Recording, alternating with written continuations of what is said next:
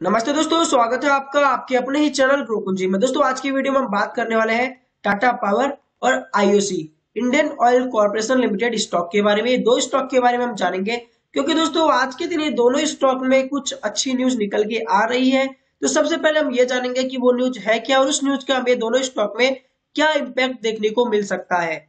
ये दोनों स्टॉक में अगर हमें एंट्री बनानी है तो किस प्राइस पर बनाए शॉर्ट टर्म और लॉन्ग टर्म के लिए, और शॉर्ट टर्म और लॉन्ग टर्म में हमें दोनों स्टॉक में क्या टारगेट देखने को मिल सकते हैं, इस बारे में हम डिटेल एनालिसिस करेंगे। तो चलिए दोस्तों, वीडियो शुरू करते हैं। वीडियो लास्ट तक ज़रूर देखिए।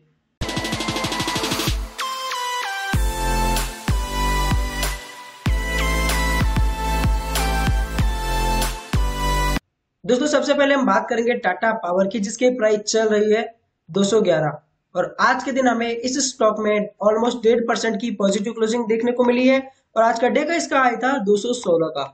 दोस्तों टाटा पावर के स्टॉक में जो न्यूज़ है, उस न्यूज़ को जानने से पहले अगर आपने अभी तक हमारा यूट्यूब चैनल सब्सक्राइब नहीं किया है तो सबसे पहले आप हमारा यूट्यूब चैनल सब्सक्राइब करें और बेल आइकन को प्रेस करें, जिससे आपको हमारी वीडियो की नोटिफिकेशन सबसे पहले मिले और ऐसे स्टॉक मार्केट में स्टॉक्स की न्यूज़ और अपडेट मैं आपके लिए लेके आता रहूँ। और साथ ही दोस्तों, आप हमारा टेलीग्राम भी ज्वाइन कर सकते हैं। जहाँ आपको स्टॉक मार्केट रिलेटेड सभी न्यूज़ टेलीग्राम पर मिल जाएगी। जो भी मार्केट में न्यूज़ चल रही है, वो सभी न्यूज़ आपको मिल जाएगी। और अगर आप ऑप्शन ट्रेडिंग करते हैं तो ऑप्शन ट्रेडिंग के लिए आपको कॉल और पुट भी मिल जाएँगे। आप एसएल मेंटेन करके एक अच्छा प्रॉफिट कर सकते हैं। दोस्तों टाटा पावर में जो न्यूज़ है, वो न्यूज़ ये है कि टाटा पावर ने दिल्ली एनसीआर में 1400 नए इलेक्ट्रिक व्हीकल के चार्जिंग इंस्टॉल करेगी।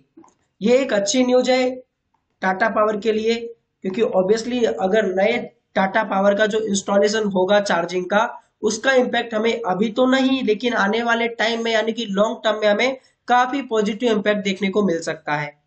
दोस्तों, इसीलिए टाटा पावर लॉन्ग टर्म के लिए बहुत ही अच्छा स्टॉक है।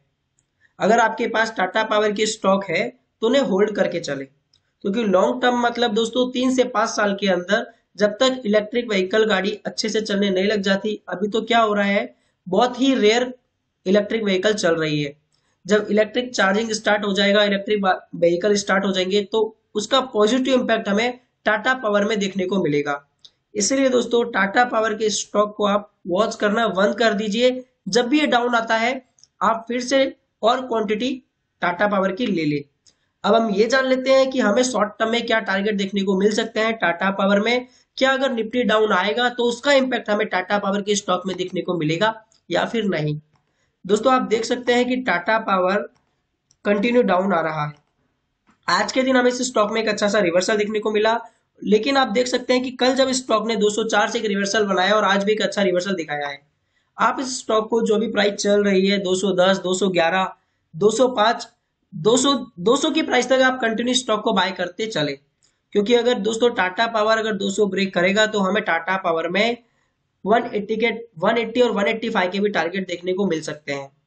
लेकिन अगर ये 185 ब्रेक करता है तो दोस्तों हमें टाटा पावर में एक बड़ा फॉल देखने को मिल सकता है।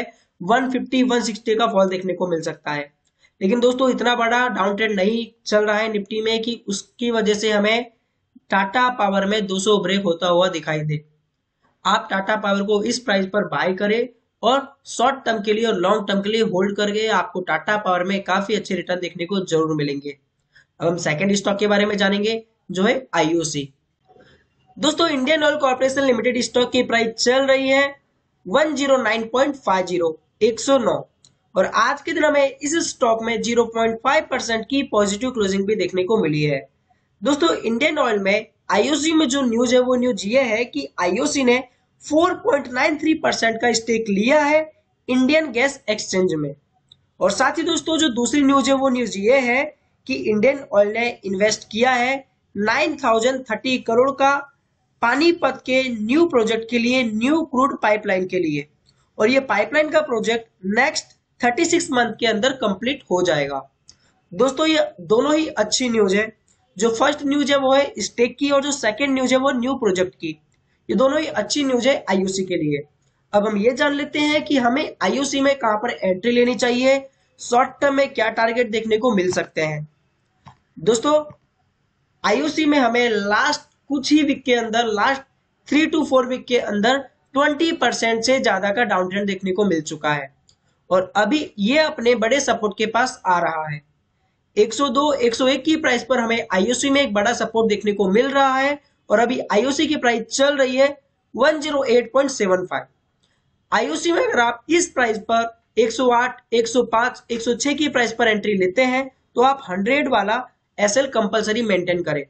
क्योंकि अगर आईओसी 100 ब्रेक करता है तो हमें आईओसी में 90 और 95 के भी टारगेट देखने को मिल सकते हैं। इसलिए आप आईओसी में एंट्री ले सकते हैं, लेकिन हंड्रेड रुपीज़ का एसएल कंपलसरी मेंटेन करें। आई होप दोस्तों आपको वीडियो पसंद आया होगा। अगर ये वीडियो आपको पसंद आए तो इस वीडियो को लाइक करें शेयर करें और चैनल को ज़रूर सब्सक्राइब करें। जय हिंद।